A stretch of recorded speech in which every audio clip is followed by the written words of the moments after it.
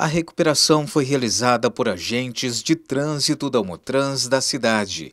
Uma equipe realizava rondas nas mediações do CEMEI Cecília Meirelles, no 28 de outubro, quando se depararam com uma pessoa empurrando uma moto e resolveram abordar.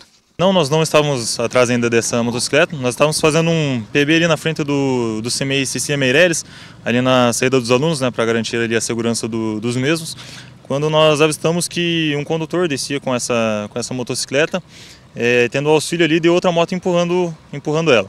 Quando eles avistaram a, a equipe, é, prontamente ele pegou a primeira rua que tinha à esquerda ali do, do colégio, que eles estavam tentando ligar essa moto e ela não pegava. O furto desta motocicleta aconteceu por volta de 5 e meia da manhã desta segunda-feira.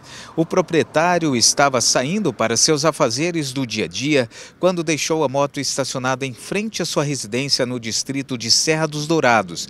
Voltou para o interior do imóvel por alguns minutos mas deixou a chave na ignição da motocicleta e, quando retornou para ir aos seus afazeres, percebeu que a moto havia sido furtada. Diante do fato, a Polícia Militar acabou sendo acionada, patrulhamento feito, mas somente no final da tarde que a moto foi recuperada.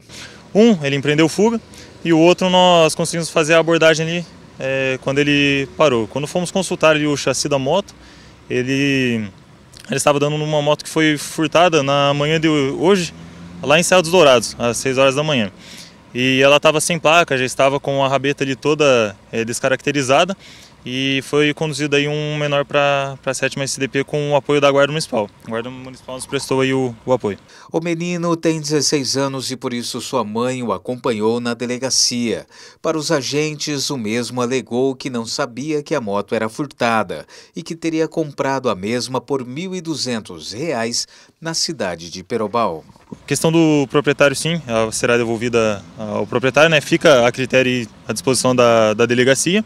É, quanto ao, ao, cidadão que foi encaminhado, é, ele disse adquirir essa moto aí na cidade de, de Perobal é, por R$ 1.200. Segundo ele, comprou ela na manhã de hoje lá na cidade de Perobal e pagou R$ 1.200.